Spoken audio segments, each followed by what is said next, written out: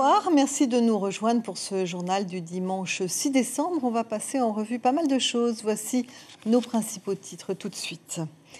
Des initiatives courageuses pour survivre à la crise. La bonne idée du week-end est celle de la directrice du centre Arioy de Papara. Elle initie les touristes à la culture polynésienne par le biais d'Internet. Cette année, que deviennent les artisanes les plus populaires de Tahiti, celles qui tressent fleurs et coquillages à l'aéroport? Nous les avions un peu occultées, ces dames sans lesquelles les départs et les arrivées à Tahiti n'auraient pas le même goût. Oubli réparé, elles nous diront comment elles vivent en ces temps difficiles. Rien ne va plus dans le secteur de la perle et ce n'est pas une info nouvelle. Cela fait plusieurs années que cette activité essentielle à la vie des îles est moribonde. Pourtant, les chiffres sont formels, les exportations ont légèrement augmenté. Aline Baldassari, qui est la présidente de l'association Tahitian Pearl de Polynésie française, la TPAFP, est notre invitée ce soir. Elle nous dira dans un instant son interprétation des statistiques publiées cette semaine. On vous retrouve tout de suite. Enfin, notre rubrique Nostalgie va nous faire faire un bond dans le passé. Nous avons ressorti un sujet sur les achats de Noël en 1993. Il y en a qui se reconnaîtront avec quelques années de plus.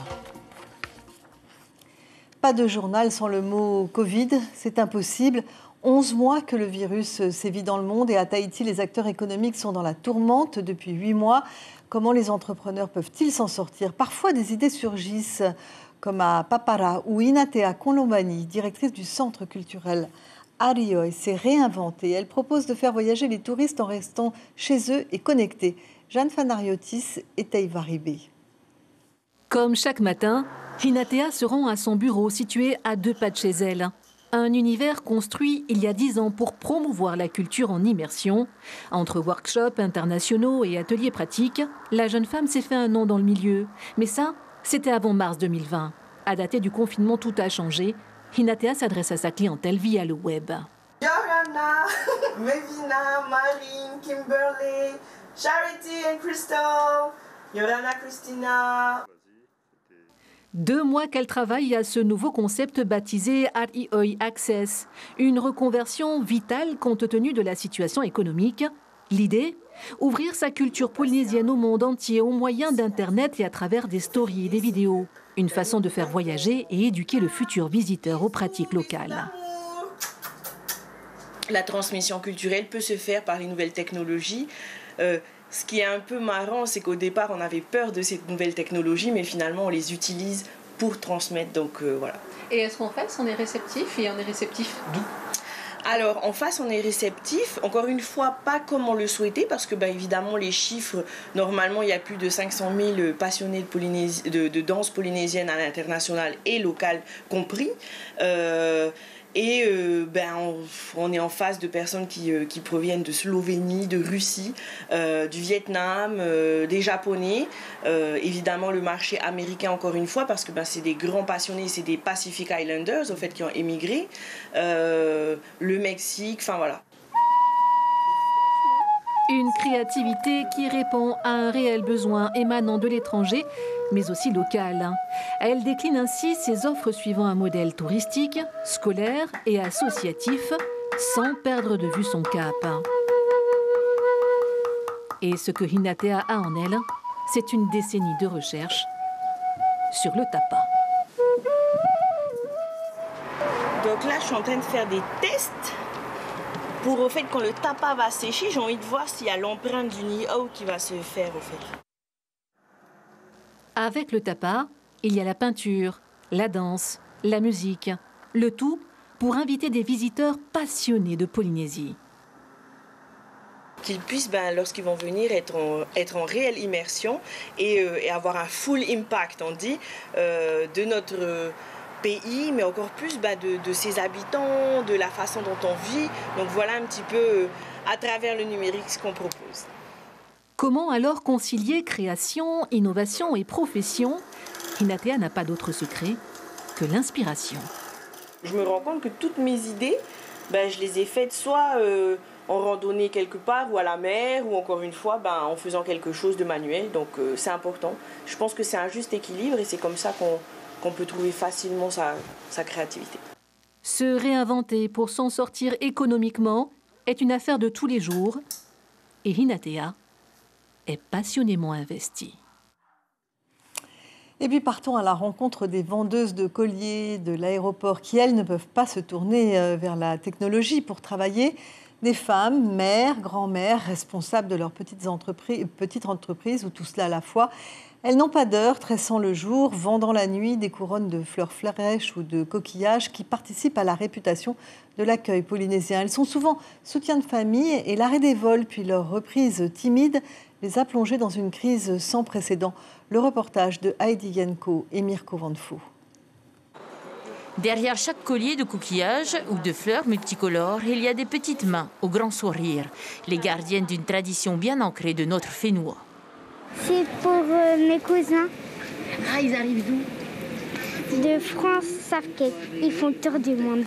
Là, on vient exprès de la presqu'île, on les accueille, mais on ne les héberge pas chez nous. Ils, sont, ils font une septaine sur Punaouia et nous, on rentre à la presqu'île. En fait, les deux tiarés, c'est pour les garçons et eux, c'est pour les trois filles. Et pour que cet accueil traditionnel continue, les 23 dames du Farehei se relaient à la fabrication et à la vente. Bien que 2020 ne leur ait pas fait de cadeau, confinement, vol repoussé, annulé, horaires décalés, couvre-feu, beaucoup ont perdu près de 50% de leur revenu annuel. Euh, ça n'a pas été facile. Je pense que c'est la première fois dans toute l'histoire du Farehei que ce genre de situation on l'a vu. C'est-à-dire que déjà on n'a pas eu d'activité pendant trois mois. Donc ça a été très difficile. Après, quand on avait repris, donc euh, c'était petit à petit, hein, il y a eu les bons là qui continuité que se sont mis en place. Donc nous, petit à petit, on est revenu. Et vers le mois 19 juillet, vraiment, on a bien repris. Ça a été. C'est moyennement super. Mais arrivé au mois de septembre, les vols ont commencé à être annulés, donc les frontières fermées. Certaines ont préféré partir un temps dans les îles, d'autres ont essayé de joindre les deux bouts avec du tressage ou de la couture. Et pour les plus âgés, c'est la solidarité qui a pris le dessus. La doyenne que tout le monde appelle affectueusement bébé à 88 ans. Avec bienveillance, ses amis gardent un œil sur son stand en son absence et sur elle quand elle est là. Je à l'absence on attend d'arriver. Je dors à la. Et puis quand on allait s'arriver, c'est bien. Ça compte, il y a comme... Je suis obligée de venir. Tu aimes bien ton travail? Voilà. C'est plus de rester à la maison. Heureusement, la grande majorité des clients gardent leur masque et leur distance. Ces dames toujours souriantes, malgré les pertes de revenus engendrées par la pandémie, participent ainsi à perpétuer la belle tradition polynésienne d'un accueil fleuri. On est content d'avoir respecté la tradition. Attendez les fleurs. Elle avait même sur son masque. Et ça sent bon? Oui. Un autre secteur euh, touché par euh, la crise, celui de la perle de Tahiti. Année noire, avec là aussi pour principal facteur l'arrêt des vols vers le sud-est asiatique. L'Institut de la statistique publie pourtant un chiffre qui interpelle. Plus 117% d'augmentation à l'export en septembre, une donnée incompréhensible si on ne l'explique pas. Et notre invitée Aline Baldassari est là pour ça. Aline, euh, bonsoir. Je rappelle que vous êtes la présidente de la TPAFP. C'est un acronyme un peu compliqué pour dire présidente de l'Association des perles de la, de la Polynésie. Hein. Alors, vous dites qu'il faut comparer ce qui est comparable. Ce chiffre de plus 117%, euh, pourquoi est-ce qu'il surprend? Bah, Évidemment, dans un moment où on n'arrête pas de dire que le secteur va mal, et c'est vrai, pour les deux raisons majeures dont on a parlé, l'arrêt des greffeurs et l'arrêt des liaisons aériennes sur l'Asie. Euh, en, partant de là, on sait qu'il y a beaucoup, beaucoup de soucis. Et alors, on est surpris de voir un chiffre pareil. Mais en fait, il faut savoir à quoi il fait référence. Moi, je n'ai pas réussi à savoir euh, d'où il partait pour calculer ce 17. Il part de zéro, peut-être ben, je sais pas. Non, 17, 0, euh, ça aurait fait beaucoup plus. Bon, alors moi, je vais vous donner, j'ai des chiffres, moi, qui sont officiels. Et ce que j'ai pu vous calculer, c'est qu'en fait, en septembre, il y a eu 98% d'augmentation en valeur et 156% d'augmentation en poids. Parce qu'avant, il n'y avait rien. Ben, non, sur le mois d'avant. Moi, ma référence, c'est le mois d'avant. Je ne vais pas prendre le début de l'année, je ne vais pas prendre n'importe quel mois, j'ai pris le mois d'avant. Donc, par rapport au mois d'avant, il y a eu cette augmentation.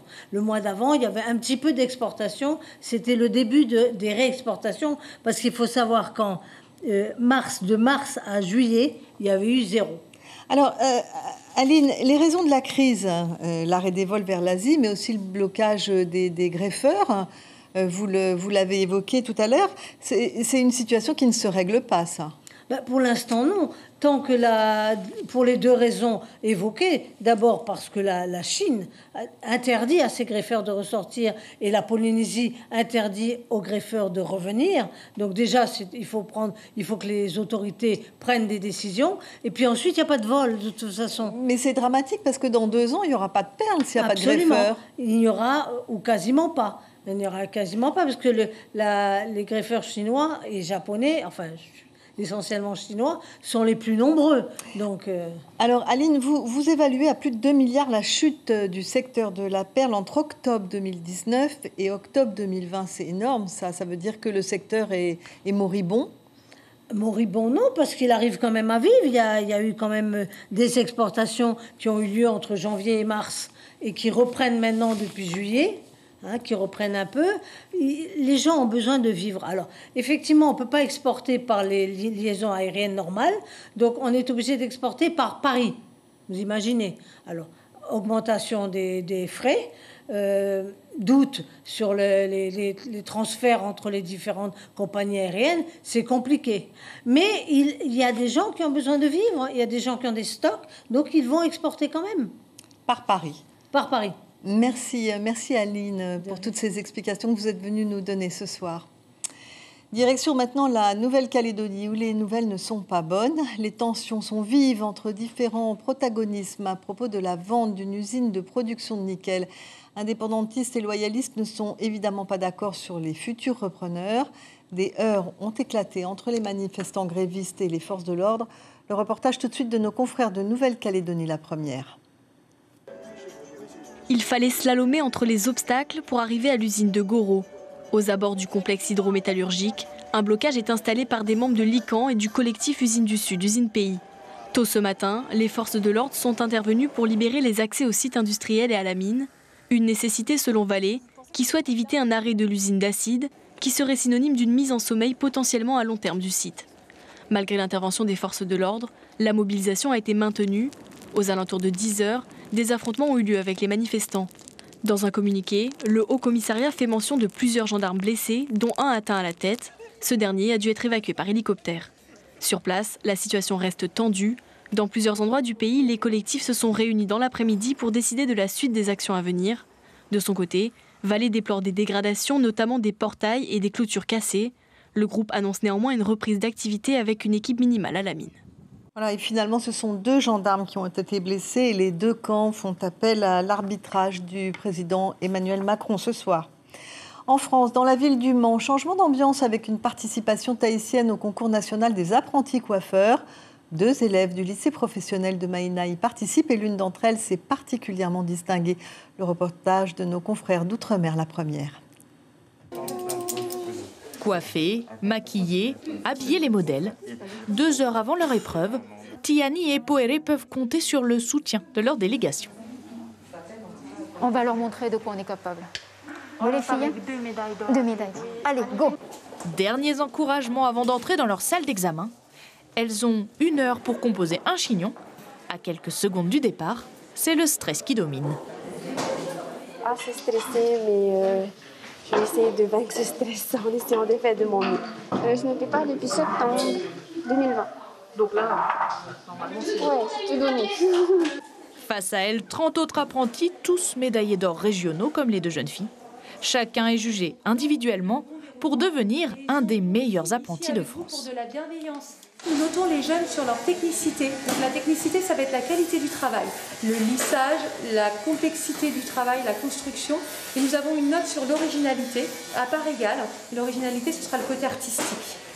Rapidement, les deux apprentis se concentrent sur leur modèle. Sous leurs doigts, boucles et volumes se construisent comme un défi aux lois de la gravité. Quand je suis arrivée en Polynésie il y a 4 ans, je les ai vus travailler et au bout de 2-3 séances, j'ai fait waouh, elles ont des mains en or. Elles ont la capacité de, comment dire, euh, de photographier les gestes, une aisance dans la gestuelle qui est juste extraordinaire. Et si tu veux, j'avais envie de mettre en avant ces compétences-là. C'est la deuxième participation polynésienne à ce concours d'excellence. Un parcours que salue la ministre de l'Éducation de la Polynésie française, venue encourager Tiani et Poere. C'est un honneur pour la Polynésie française qu'on puisse avoir des élèves qui, qui viennent à ce type de concours.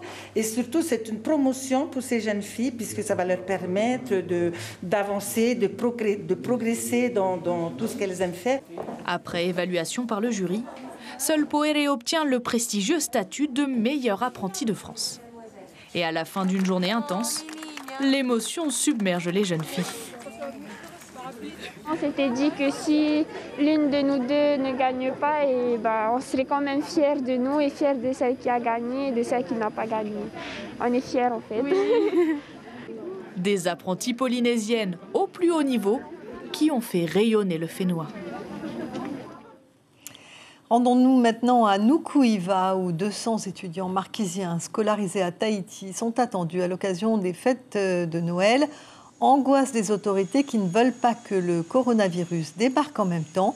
C'est pourquoi elles ont mis en place un protocole bien précis afin, afin d'accueillir le premier vol de rapatriement qui a eu lieu ce week-end, un circuit de séparation pour les passagers en provenance de Tahiti et ceux en partance a été balisé. Les équipes de guides sanitaires ont été renforcées dans l'aérogare, puis plusieurs agents de la police municipale et de la gendarmerie sont venus en renfort afin d'aider à limiter les allées et venues non indispensables. Les élèves testés positifs à la Covid n'ont pas pu prendre l'avion, bien sûr. Toujours dans les îles, une grande opération de nettoyage des encombrants à Rayatea. ce n'est pas simple dans la commune de Tumara, qui n'effectue ce genre d'opération de salubrité publique qu'une fois l'an. Imaginez le volume des débris, de l'électroménager aux produits informatiques à l'obsolescence programmée. Tout le monde préfère jeter son imprimante plutôt que de racheter des cartouches plus chères que la machine. Sur 50 km de côte, les décharges sauvages sont totalement saturées.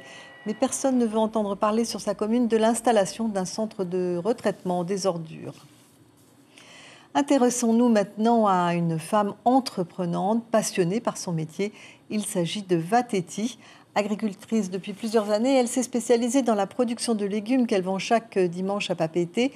Elle propose aussi des couronnes de taïna, portrait ce soir brossé par Rowan Potorou sur des images de Marcel Bonneau.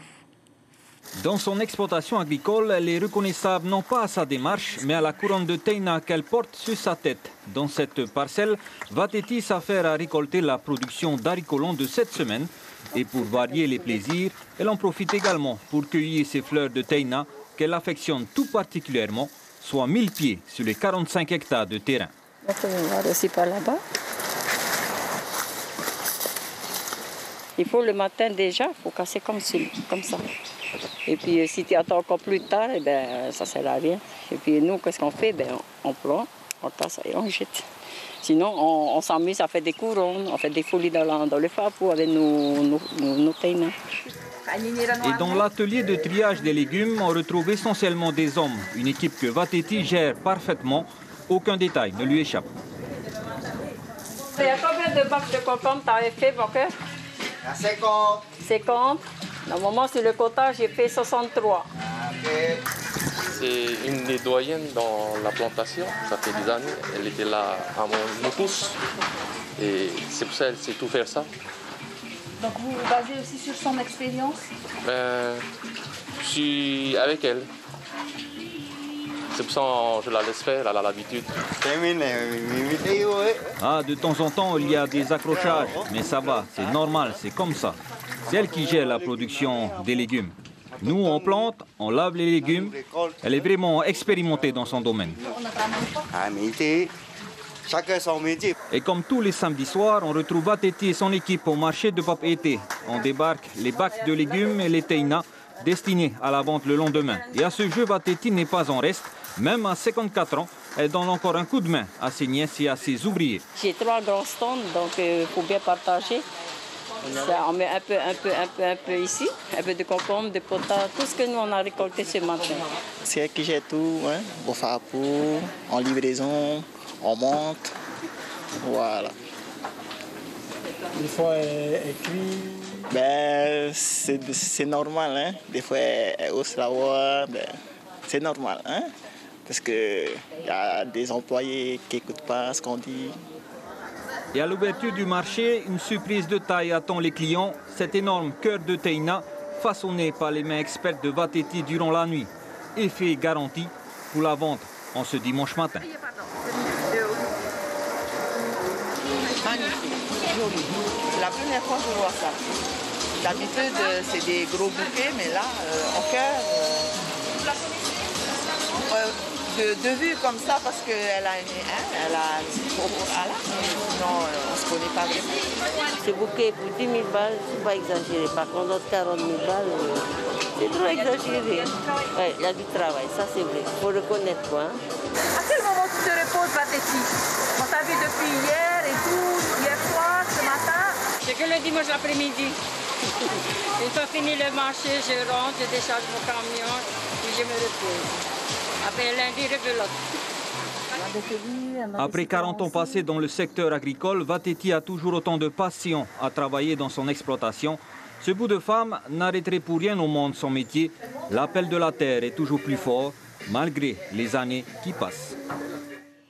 Que faisions-nous comme course de Noël en 1993 quand les tablettes et portables n'existaient pas? C'était il y a 28 ans et tout était différent, sauf une préoccupation majeure qui reste d'actualité. Comment y arriver quand les enfants pensent que le Père Noël a une bourse illimitée? C'est un sujet traité à l'époque euh, par Caroline Jouret et Guy Ledu.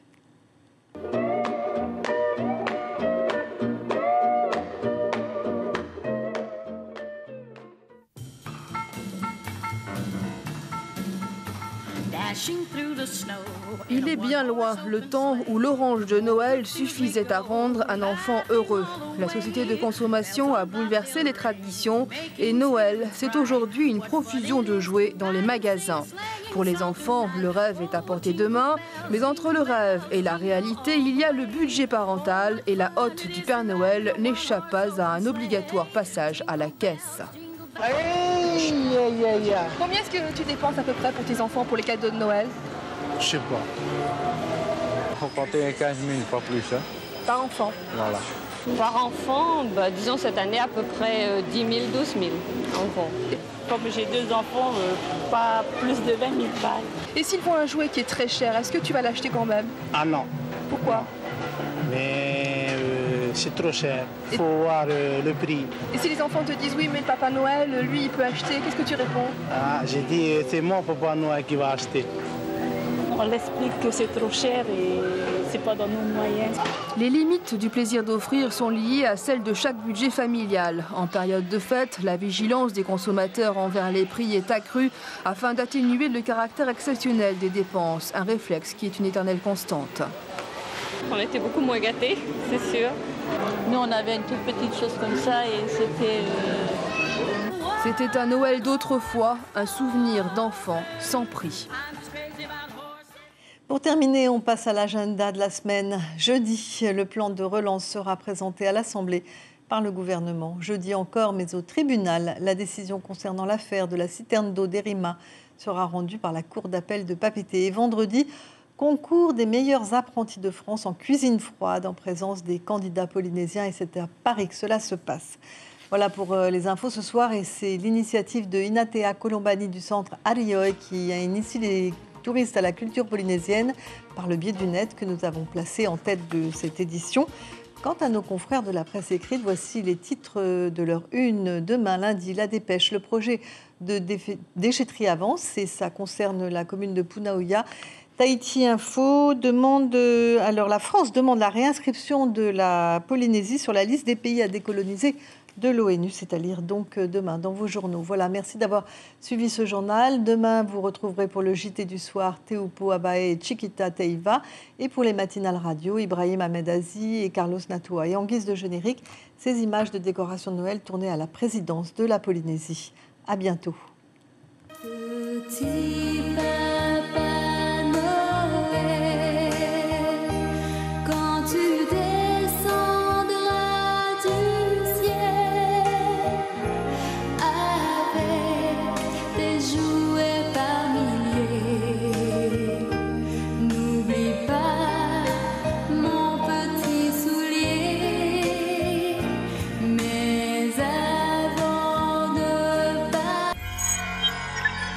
Retrouvez ce programme en replay sur notre site internet